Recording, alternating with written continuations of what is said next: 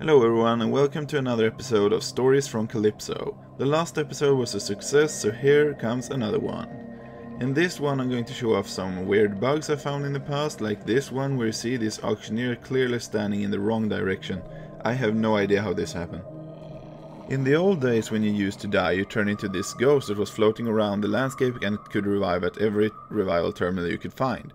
That's not what this is about, however. It's about the message in the lower left corner where the server told us that it will be offline in 5 minutes. Four times. I mean, yeah, we got it the first time, so what's up with this? The Hall of Fame was once bugged too. I have no idea what this creature is. It's an old Feffoid Berserker.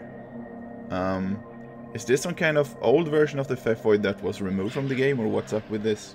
In the old days, when a claim got stuck into a wall, you couldn't remove it and summon it like you can now, so uh, I kind of made this picture once to kind of explain my irritation, and now it has been fixed with a summoning feature. Ah, the Umbranoid village. A classic place to skill your skills in in the old days when you could just stand on the log, trap the Umbranoids and skill away.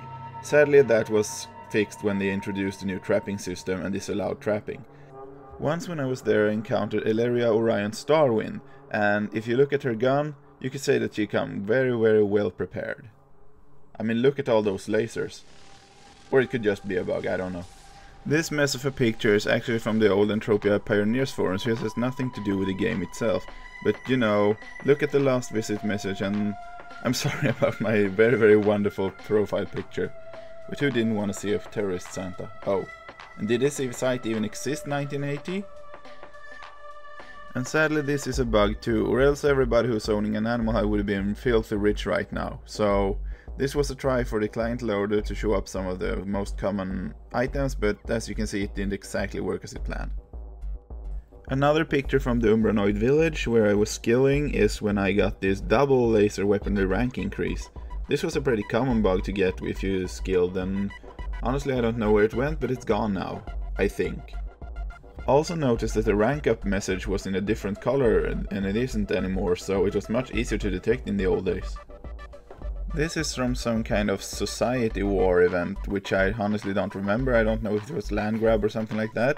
But either way, they misspell the word society, so say it says society or something, so... Not a huge bug, but still funny. I think. At least, a little bit. Yeah. Sorry about the censoring in this picture, but everyone was always censoring their pet, so I was censoring about random stuff. But that's not what this is about.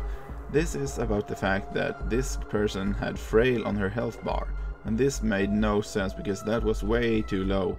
And it was also showing the max health, so I don't know what happened, but she must have been a very, very, very, very suicidal girl.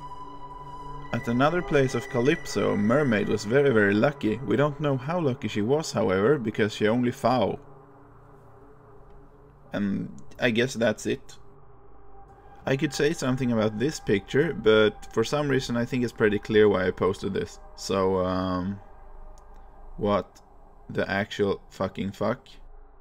If you like the estate terminals, you would have been in heaven here because somehow the vegetation was replaced with estate terminal models all over the horizon. So, uh, just buy something, will you? If you're a pacifist, you're going to love this picture because, you know, just look at my gun. And, uh, nothing more to say, next picture. This has to be the most dangerous Exarosaur Young I've ever encountered. First it hit me for a lot of damage, then it healed me, and then it hit me, and then it killed me. This was caused by some lag that made the game calculate the health and then reduce it and remove it, but either way, I died, as you can see. What a shameful death. There was also this nude bug in the old game. For some reason the developers left some nude models in the game, so this is what the technician looks like and uh, well, this is also an Umbranoid, so if you ever wanted to see a nude Umbranoid lying on their stomach, let's just move on with other pictures, shall we? And when I said other pictures, I meant not nude pictures of Umbranoids. Can we try something that's not nude next? This is actually a pretty new bug, I got it just a few weeks ago, so it's not from the old game, but I still want to show it off. You see this sexy X icon I have in my storage? Okay, moving on to next. Imagine that you're on a mining trip and you find something, then the game says, you can't get this, sorry. That's kind of what happened here, I mean, what?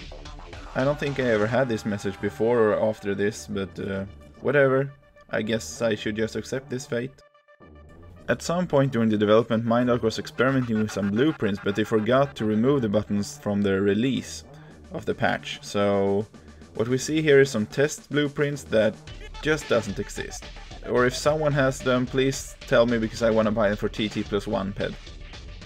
In the old days there was a bug in the game, so if you sat on a chair and pressed lie or sit, your character would start sliding into the infinity until you rose up from the chair again.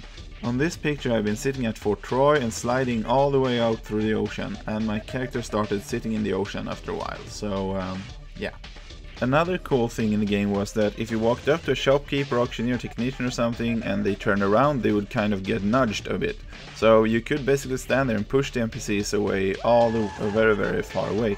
It was very very slow and it took several hours to move them just a few meters but it was doable. So I was bored on T-Rex Island once and I pushed his shopkeeper together with some friends into the ocean and eventually the shopkeeper drowned so it was inactive. The next day it was active again, so I suppose you could just deactivate it and activate it to restore it, but it was still fun to drown someone's shopkeeper. Nowadays this is not possible because the NPCs don't move around the same way anymore, so you can't push them around. And for you guys who wonder, no, the corpse was not lootable, sadly. For this one I was experiencing some time traveling because as you can see from the timestamps on the bottom, I kind of lost 3 seconds after checking the time a second time, so I have no idea what was going on there. Um, but now it's time for the final picture, and this is going to be a very weird picture because someone as MindArk has to have been bored. Tjolahopp! And yes, this is exactly what it's all about. The Swedish word tjolahopp, which doesn't actually mean anything. And as you can see, someone as MindArk was really really bored because this is what the chat looked like. And needless to say, this caused quite a commotion in the chat afterwards, but I didn't get any screen capture from that. So, hopefully you liked this video, I have a few more Entropia bug videos if you want to check those out.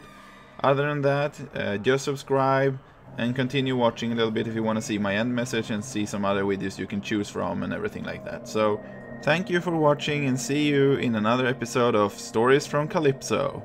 Or TDG Mining. Or something else which is Project Entropia related. Or maybe Planet Calypso related or maybe not related to this game at all. But anyway, see you around. Bye! If you're new to this game, don't forget to check out my How to Get Ped guide featured on my YouTube channel. I also have a video of how to make money using the Crowdflower funded Entropia Partners website. Check it out for some quick ped. Links to these can be found in the video description, or you can also click the images above. I've just started a twitching account and if you click the left button you get an example of my twitching where I'm playing the game Aversion which is a horror game that looks cute at the start but it isn't so cute at the end. If you click the right one, you're going to see my creepypasta of a roller coaster in Liseberg which is an amusement park in Sweden. If you click the amp mining playlist you're going to see my runs with level 13 amplifiers, so check it out if you're interested in high level mining. Subscribe and hope you like my channel.